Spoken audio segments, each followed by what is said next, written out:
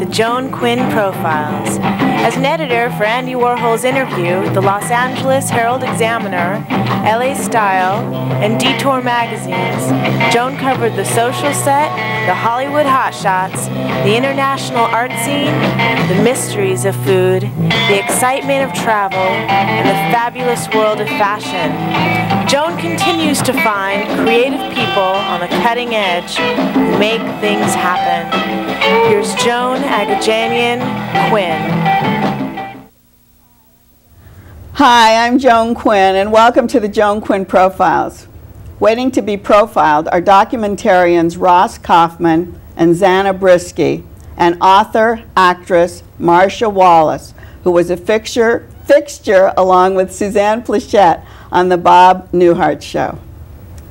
Filmmakers Ross Kauffman and Zana Briski made a documentary about the children in the red light district of Calcutta, India.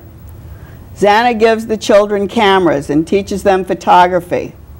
As a professional photographer, Zana ignites some of the sparks of creativity. Born into Brothels was the winner of over 20 major film festivals and went on to win the 2005 Academy Award for Best Documentary. Here's our interview with Ross Kauffman and Zana Briski. First, you'll see a clip from Born into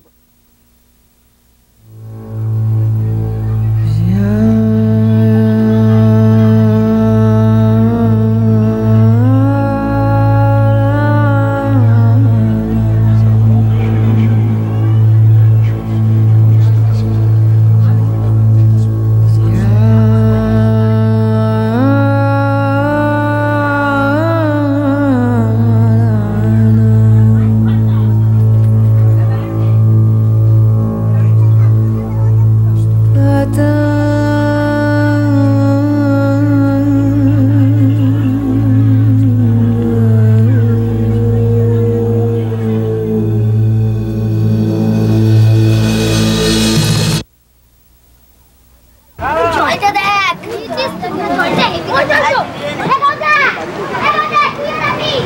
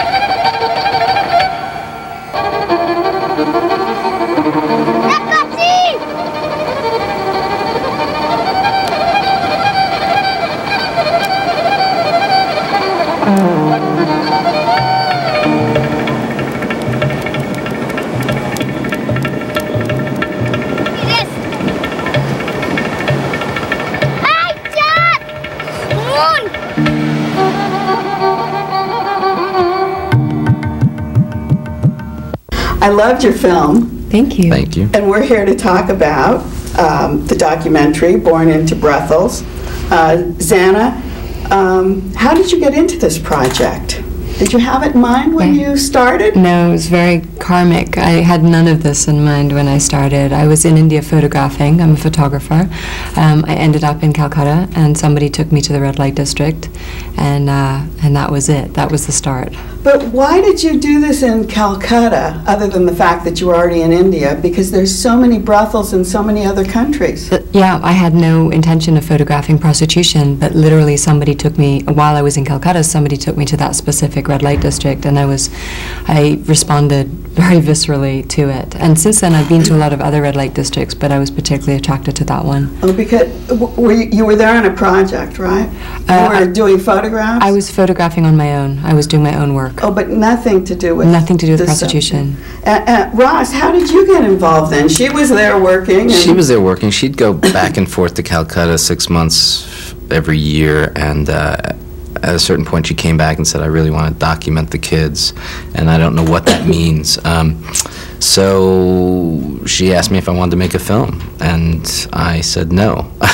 Well, then why did you get interested in the children? He's saying no, and you've got the kids going here. Well, I was originally interested in the women, and I was living in a brothel and photographing them.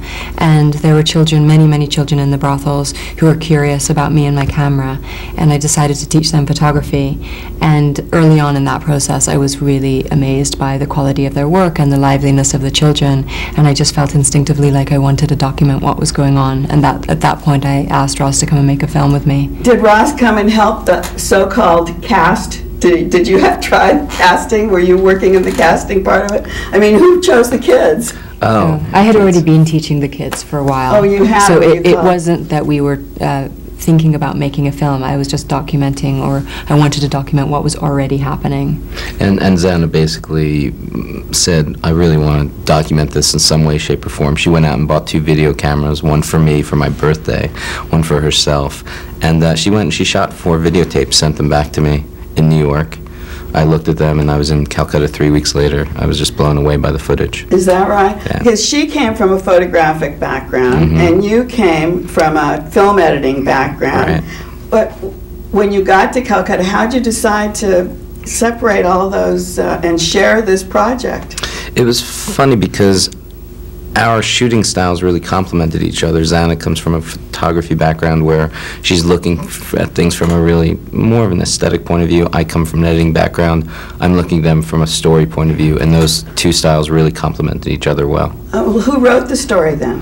We didn't was- write a story. We, went This is a very, very organic process, and the film was in the style in which I take photographs, which is just to sit and wait and wait for, for life to happen. So nothing was written, nothing was set up, nothing was scripted, and there was no lighting, nothing fancy. It was just Ross and I with two video cameras being. just, just reacting to what was happening But around Ross, us. how did you edit it then? If it just, I mean, how did you know where to stop? It could have been 10 It- hours long. It took a long time to edit the film. We edited the film for about a year. We had 170 hours of footage. Um, we got every minute of it translated, and um, it's just a matter of really going through the footage and, and feeling the material and developing a film from that. I think we instinctively knew when to stop, when the story was over and it had reached, I mean, the whole project had reached an, a nat- natural climax. Well, then, did you finish there? Did you leave Calcutta? I'm very involved uh, with the children. I've started an organization called Kids with Cameras to help the children. Um, and we're also planning to build a school of leadership in the arts specifically for children of prostitutes, which will open in 2006. Oh, good. So while I'm not taking photographs there anymore, um, I'm very much involved in the lives of the children and the women. Ross, you were really with the camera all the time. How did they react to you behind that camera? Uh, they were they were great. I mean, Zana and I both shot the film, and they just they loved taking pictures. They didn't mind being in front of the camera. They were just kids, and that They was the beauty of it. interacting with her. Right. But you, w- were you giving directions? No, we just, you know, we never give directions. That's the funny thing. We just shoot what's in front of us. It's uh, more of a Really- verite style. Really Yeah. pure documentary. Nothing was set up, nothing was manipulated. Totally guerrilla, kind of, right? Basically, yeah. But uh, some of some of those films that I noticed, some was really clear and some was a bit grainy. Mm-hmm. Um, and I didn't know in the, the beginning with that red, if you did that just to make it the red light district, or does it really look like that? That's yeah, how pretty that's much. how we shot. We didn't Really? Yeah. manipulate anything. It's a very, uh-huh. very rich, rich, vibrant place. When while I was watching, and I've been to India, and I know I've been in situations where I've been a little bit hesitant about moving around. Were you ever afraid, either one of you? Often. We were often. afraid. What kind of si- situations uh, uh, were frightening? Well, it's a very dangerous place. Cameras are totally taboo there, and you know, to give kids ah. cameras is a very dangerous thing. The red light district is a very dangerous place. Um, I was often threatened and followed, and the That's what I women wondered. women were very protective of me, and it was also dangerous for the kids to be there with cameras. Did you wear just your jeans I just wore and jean, top? jeans and t-shirts. I didn't Did you? pretend to be Indian. I didn't, you know. I wanted to be there. I was there as a photographer. Did you feel the impact of your teaching on the whole community? Because you were teaching the kids, you said. Absolutely. I mean, the lives of the of, of the children were really transformed through learning photography. Um, they're they're taught to be very ashamed of who they are. They're very stigmatized. Um, they their self-confidence really grew through taking pictures, talking about their pictures, showing their pictures to the outside world, um, and of course that affected their communities as well, th- their mothers. Well, you you said you taught them how to edit. How do you teach them how to edit? I mean, is it just their natural eye, or were you really discussing film and shoot with something in the background and things like that? I was only teaching them still photography, not not uh, video. Um, and every week they would shoot film. I would get it developed. We would uh, produce contact sheets, and they would talk about. They would pick their the photographs that they liked and explain why they liked them. And other kids would do the same thing. So it would be a, a class discussion about what makes a good photo, why they like certain photos, and then would print up the photos and again have that discussion. One of the things that really stood out in my mind is because I heard the zurna and I heard the drums. Who picked the music? The music was fabulous. Well, we had a composer, his name is John McDowell, and he worked only for three weeks on the score, and he did an incredible job. Um, we all worked together in trying to create a feeling of what it was like in the red light district. A lot of that kind of music you hear in the red light district, and that's what we're going that? for. That's- Absolutely, you hear a lot of Bollywood um, and a lot of devotional devotional music. So it was really melancholy and then like tambourines or something Mhm. I thought was like ready to go. yeah, Yeah. it's very or- uh, organic to the the sounds that you hear in the brothel. Well, I know you're going to set up a nonprofit organization for children with cameras. Is that what it's Kids called? with cameras. Kids with Kids with cameras. Cameras. It's a it's an organization. It's already been uh, running for two years, and it's to empower children through photography. I think it's great. Thanks for being with us today. Thank, you so you. much.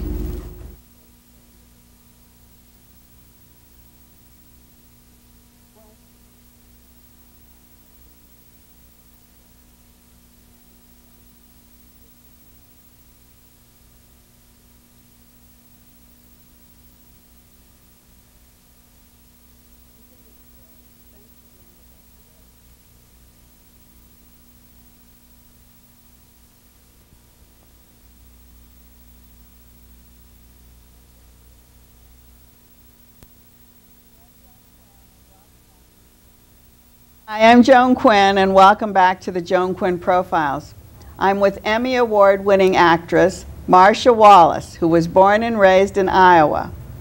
After Parsons College, she went to New York to study acting with Uta Hagen.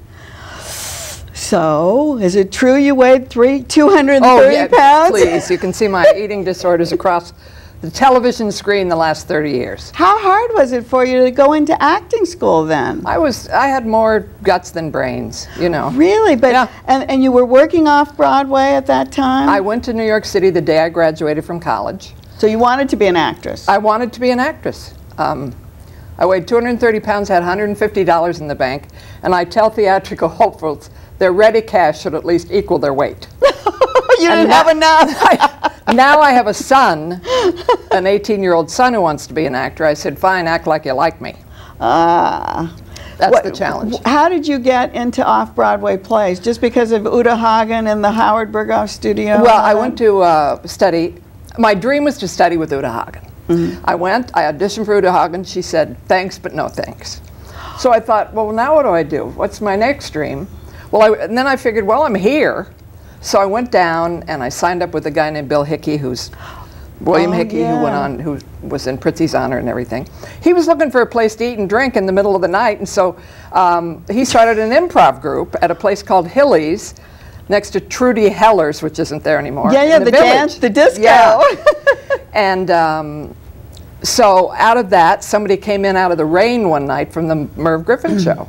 And I ended up there. So it's interesting if my dream had happened when I got there. And It I wouldn't have happened. It, it might not have happened. So uh, a couple years later, I went back and auditioned for Uta again.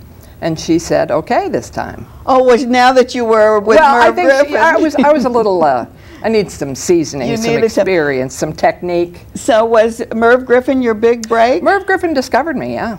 I mean, I don't know if I'm, I don't know if I'm on his resume. Did you up stay? there with uh, Lily Tomlin and the Biggies? But he uh, he discovered me, and I did 75 appearances on Merv Griffin. Oh, you were you all working together? What kind of appearances were you doing? Well, those there was very little stand up. in I was gonna say. it was more sit down. It was, but were you a comic? Um, in terms of stand up, I was never in the right place at the right time. When I was starting out, um, there was Joan Rivers and Phyllis Diller, and you couldn't get back into acting.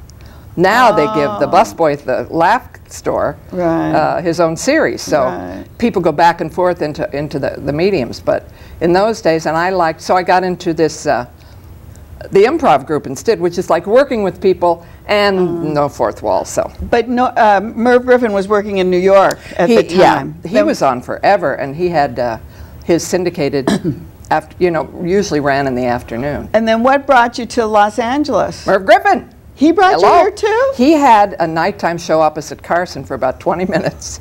No, actually, it was a year and a half. Merv, sorry, a year and a half. We love Merv. I love Merv on CBS, and uh, Oh, so that's when so you I came? came out, and it was one of those days where I thought I'd, I'd audition for some, you know, galoshes commercial that was going to run in the middle of the night in Butte, Montana, and I thought I, I don't think I, I'm cut out for this, and I had done Merv's uh, show, and Bill Paley, who was running CBS at the time, saw me and said, "Put her on the Bob Newhart show."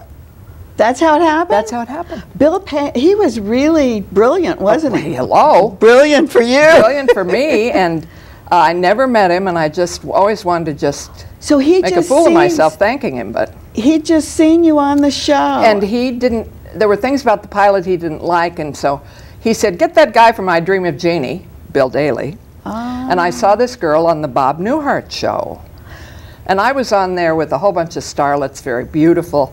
So I stood out. I was not like everybody So else. So when you went on the Bob Newhart show, it looked like one big family. You you kind of pushed everyone around, though, didn't you? Well, for being in that role. it was a great gig, and it was, um, you know, what I loved about it. It was not one of those um, "I'm desperate for a man, I'll take him if they're breathing" kind of character. Yeah. Carol, Carol was Carol got around. Everyone she ran off you. with the. Uh, she ran off with the dentist. She ran had a fling with the. With, she went to Canton, Ohio, with with Howard the pilot. Did you help him write any of this? No. but you, you- did whatever they told you. Please, we had brilliant writers, and uh, Bob, you know the persona of Bob Newhart. You can't go wrong with that. When when were they all getting along together? We all got along together. Isn't that that's so great? Because you hear horror stories about these Well, uh, um, there are two things you can do. You know, a good sitcom is good writing and good chemistry, and one you can do something about, and one you can't. Right. One you just get lucky, and we got lucky. and to this day, are you still friends? Yeah. Yes. You know, Suzanne married Tom Poston. And and he was He he was uh, on Bob's second show, but he also He was- played the peeper on our show. he did so. and it's a wonderful story because they had been they had been together as as you know in their 20s and went on to get married and their spouses died and they got together and they're madly in love. It's so great. Isn't that great? Well, so you have a really wonderful story too that you're telling in this book that you wrote. Don't look back. We're not going that way. We're not going that way. It's so brilliant. We don't want to Oh, go I- backwards, do we? Well, I, there wouldn't be much of a book if I didn't look back, but you look back for a minute and then you move forward. My dad used to say this don't look back, we're not going that way. Of course, he also said, if I don't see you again, the mule is yours. So, not everything he said was deep. I got it. But he, he's, um, he died in 86, but oh, believe me, he'd be thrilled.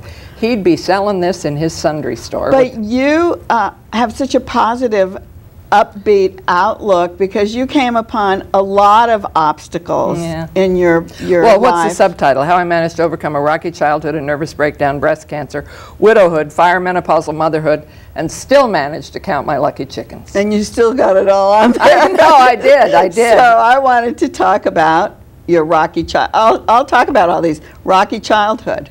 Well, you know, it's more a story of, of a decade. Um, I grew up in the 50s and nobody talked about anything personal. So I look back now and no wonder nobody was happy to see me. It's like, oh God, here she comes. She's going to want to talk personal. And I had, my father was a man with uh, big dreams, terrible luck, and no impulse control. Um, but nobody talked about anything that was going on. So you didn't know it. You I didn't didn't know. know. you I didn't didn't know, how bad it was. I, I didn't know, and it's made me, you know, who I am. I think that's what happens. Everything that that you've gone through just makes these layers in you, and usually makes you for the better if you if you're a positive person. Well, I certainly got my uh, optimism from my dad, and uh, when he was 70, he decided he wanted to be a real estate mogul, and he took the test, and he flunked it 13 times. oh, and he kept going. and he kept going. He said, "Don't look back. We're not going that way." So thus, I Don't- filed that away. Don't think I didn't. I filed that away. so you had a nervous breakdown. I did. I had a nervous breakdown. Now, During please, when? Uh, the second year of the Bob Newhart show. Really? And, And they I- kept you on because you were on for a long time. I was time. very lucky. I was very lucky they, they liked me, but they made it pretty clear that I needed to get some help. Please, today, if it happened, I'd be on The View with the Olsen twins. Maybe be bigger. Right? I mean, please. But in those days, they didn't talk about. Again, my my uh, my rhythm was a little off because they didn't um, talk Yeah. about those. You know, and stuff, breast you know. cancer, they didn't talk. And First of all, I just kind of unraveled, and it could happen to anybody. You mean for and- the nervous breakdown? Uh-huh. And I got some help, and uh, You and mean moved just too much work? Well, my best friend Brett Somers, remember from the match game? She, that's when I lost 100 pounds, much of which I put back on when my husband died. But um, at that time, a lot of stuff came up, you know. And uh, I was starting to deal with things I'd never dealt with, and I just sort of unraveled. It could happen. Yeah. And then I went on. I did. I, But maybe they wouldn't call it a nervous breakdown today. I like to think of it as a nervous breakthrough. breakthrough because I think if you're getting help and you're you're breaking through, you're I did. I needed to get some help, and it, I was never embarrassed about it. And So then I we went on to meet the man of my dreams. So then you were widowed. Yeah, well, first I, first I had to meet him. That's what I mean. I mean, you discuss oh, all of these, right? I love my darling Dennis, and I met him. Uh, I was 41, he was 39, and the great thing about meeting Mr. Right in your middle years, you don't have to worry about him going through a midlife crisis because you're it. That's great. You're yeah, it. That's exactly right. And he asked me to marry him, and three days later I was diagnosed with breast cancer. oh, that's how that came about. Yeah. Ah, so So he was with me every step of the way, and I have become an advocate for breast cancer awareness, you know, mammograms, breast self exams, yearly doctor exams, and gut instinct. I had a feeling something was up, which is what got Did me to the doctor. And uh, one of my cancer doctors was Monica Lewinsky's father. is Yeah. because he. Yeah. yeah. Clinton's girlfriend's father has seen my breast. Thank you. they say there's, you know, six degrees of separation. Then we've got it, There's don't only we? three between my breast and Bill. Oh, heavens. and then I, I was able to, he helped me, and then when he was diagnosed with pancreatic cancer, That was terrible. six years after we got married. Right away. But he said something, uh, you know, two weeks before he died that was like a metaphor for our life together, Joan. He said, I'm so glad we used our good china.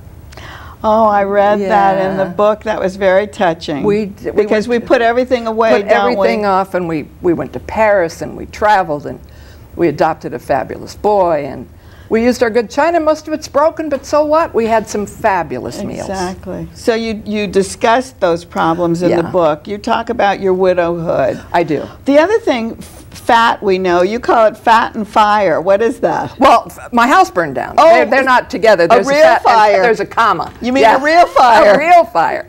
A Oh, real wow. fire. This Oh, was you after Denny died, and then Mikey and I were coming home from the movies, and I said, "Oh, Mikey, look, there's a f- there's a fire in our street. Oh, Mikey, look, there's a fire in our block. Oh, Mikey, look, Oh, there's a it's our house." Oh my gosh. Yeah. Well, before we got to Mikey, you had a lot of trouble conceiving. I and did. Be, becoming a mother, you really, both of you wanted to be parents. Uh, we decided we wanted to be parents more than we wanted to have a baby. we did. So right. we It was more important, It was more important. I, I am in awe of people who, play that fertility game and it goes on for Oh, years. I know. Must put a terrible uh, pressure on your It's- marriage. It's difficult. yeah. Very difficult. But so you were lucky you had Mikey. Had Mikey, and uh, we were a little long in the tooth to be parents. You know, we were the only parents at Toys R Us with reading glasses. But it's it. You know, I was a family. We were a family, and I was just wildly happy. And So that was fabulous. And then you went on to be an uh, Emmy Award winner. I Were you working all the time, Marcia, pretty much. Um, through all this? eh, you know, when it all hit the fan, it really hit the fan. I mean, Denny lost his job, and or his job ended. It was during, you know, uh, nobody was traveling. He was a hotel general manager. Oh, A- right. And he, uh, so then he got sick, and then our savings went. Anyway, it all. So when he died, I, my house was in foreclosure, and I had a ton of. But I, you know, You I'm, I'm a plucky Midwestern gal. You really and I pulled myself up and, And- my extra and- poundage, and I moved forward. And I hope I've, I hope my son remembers that. You, You know. did voiceover. Oh, well, So- I'm on The Simpsons. In fact, tomorrow I'm recording The Simpsons movie. So that's how you got your Emmy Award. Yes, as the, uh, you know, unlucky in love, Mrs. Krabappel. And before we Ah! go, um, before we go, I just want to know how you had the nerve to write this book and tell everything. Well, that's what people say to me. It's so honest, they say. What, why do it if you're not? I don't, it doesn't seem like any big deal. It never occurred to me to not tell the truth. Why would you want to write a book and not tell the truth? Not that mm, it's it's. And I don't spare myself. No, you don't spare Mm-mm. yourself. But it, it's inspirational. Oh, I hope so. Because ultimately, it's about I'm not the only person in the world that ever struggled in a relationship with her mother. Oh, we didn't even talk about no, that. No, I know, but but the important thing is we we had reconciliation and forgiveness before she died, and uh, you know I just feel I've had a wonderful wonderful life, and it's not over yet. Oh, that's so great. Oh, Marcia, thank you so Thank you, much for being with us today. And I have my own website, you know, marciawallace.com. Oh, we do. Well, well, that's where I found out everything about That's you. right. and thank you for watching today, the Joan Quinn Profiles. Keep writing to 777 South Figueroa, 44th floor, Los Angeles 90017. We'll see you next time.